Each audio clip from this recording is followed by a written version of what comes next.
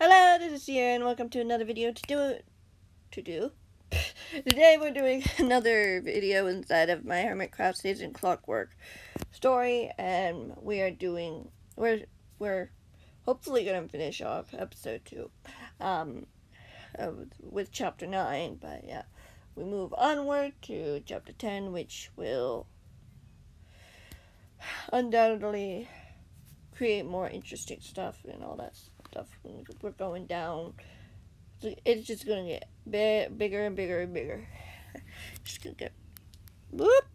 Things are gonna go interesting. Like, like I just had fun writing these parts. Like, like um, just this. This is mainly just mainly filler, just to build character. But yeah, like, I was wasn't sure if I should add this, but since I mean,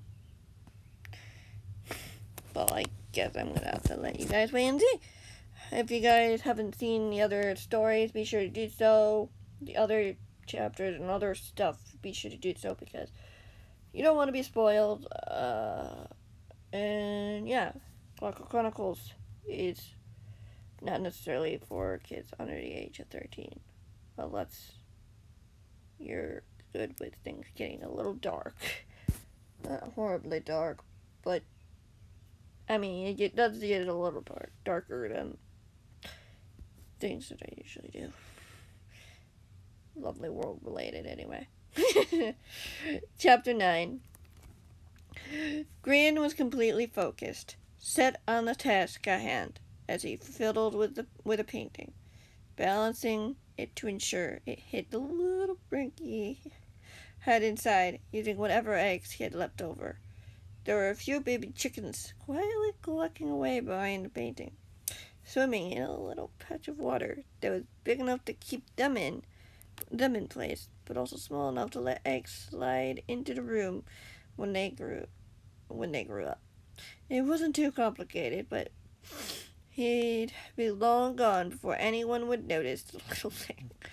He took a step back as he admired the two by one masterpiece. It looked complete.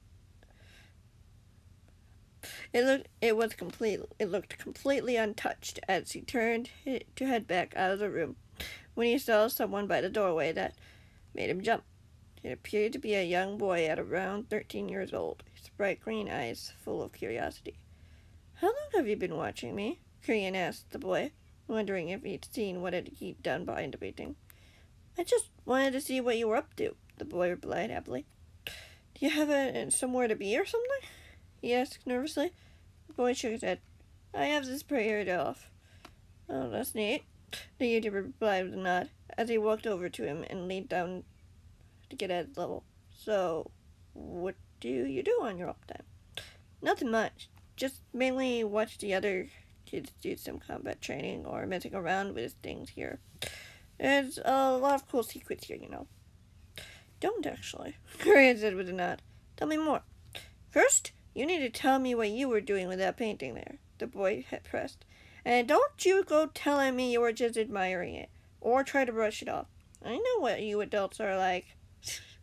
Grian laughed. Well, all right then. He leaned even closer and whispered, I've set up a little surprise for everyone in the kitchen. Just a little on the spring. Ooh, that sounds cool, the boy said excitedly, just as quiet. Why? I was just bored, Grian said with a small smile. Now that I told you my secret, could you tell me yours? Sure, the boy said eagerly as he walked hurriedly through the main room, only to be stopped by someone walking in. A young woman in her late thirties stood before the boy as he slunk back cheekily. What do you think you're doing, young man? she asked pure precariously. I don't think I spelled that right. oh, thanks. Nothing, ma'am. Just showing my new friend around. The boy quickly pointed over to Grian, who stood there with a nervous smile, not wanting to be anywhere near the scene of the prank in case someone found it early. He waved sheepishly. Ah, I see, she replied with a nod. Run along now. Just remember you have class next period. I'll be there, the boy said half-heartedly, unimpressed as the woman walked away. Who was that? The YouTuber asked him. One of her teachers. She's patrolling the halls this hour, I guess, the boy replied meekly. She always gives me a hard time, as if I'd do any rule breaking. Grian chuckled knowingly. Right. Boy gestured for him to follow, continuing his route up the stairs to the second floor, where he led him to a nearby room.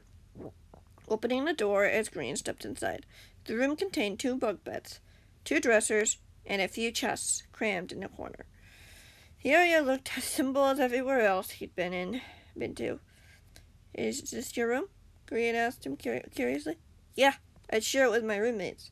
I don't think they'll mind if you drop by, he replied quickly as he went over to one of the beds and flipped over his pillow as he pulled out the sheet of paper. It might not be the best place to hide something like that, the YouTuber replied thoughtfully. Where would I put it? The boy asked. Under the mattress? Is there a room between the beds to make a little tra- trap door? Grian pondered.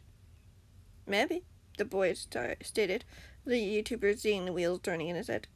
I can try that, I suppose, but here, have a look.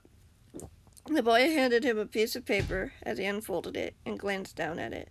It appeared to be a map of school with specific things highlighted. What exactly am I seeing? The man asked with confusion. Here are the main hallways and classrooms, the boy replied, pointing to multiple points on the map. See those thinner lines don't seem to go far? Those are secret tunnels. No way, Grian said in surprise. As the boy took back the paper. Yep, mapped it out myself with the help of some friends, the boy said triumphantly. We can get away really easily if we have to. We've been told never to use them unless it's an emergency.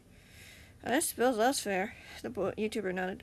I guess, the boy shrugged as he returned the paper to the, its hiding place. I have to go to class now. It's nice meeting you. Likewise, the man nodded as he followed the boy out of the room. Closing the door behind him as the boy slipped down the stairs, leaving him alone at the second floor. He glanced down at the hallway briefly. The thought of, a, of secret rooms behind the walls intrigued him, as they always had before. The excitement of knowing there were secrets brought a smile to his face, wondering if there, of where were there, wondering if where he was going had secrets of their own as well.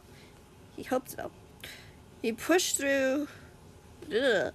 He pushed the aside, aside, though, knowing it was best not to get on the gods' bad side now, right now.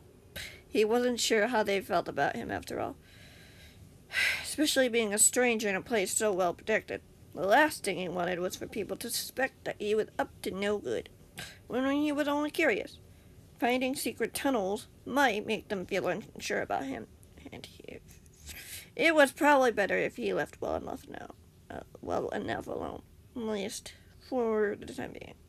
Once things began to settle, he could do all the exper- exploring to his heart desi- that his heart desired, without a care in the world. And if he could, he would bring his friends along with. Till then, he had to wait for Liam to learn what would be happening to him.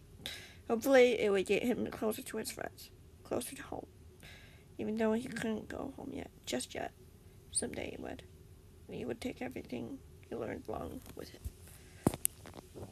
I'm just gonna end it here because yeah, this episode two. I know I did something similar before, but it's it's a little different. Like I could continue, but I will leave you guys in suspense for however long it'll take before this, the next episode comes out. Because I'm not gonna say it's weekly because I might mix things up for reasons. But yeah, these it's going to be fun. Anyway, hope you guys enjoyed this video. Um, if you want to see more, just you know what to do. Just let me know. And if you have any questions, thoughts, theories, or ideas for other stories, feel free to let me know as well. Because yeah, we're not done. We're just about halfway. Just about halfway. It's a good feeling. Thank you guys so much for watching. I hope you enjoyed. And yes, I will see you all later. Whatever that might be.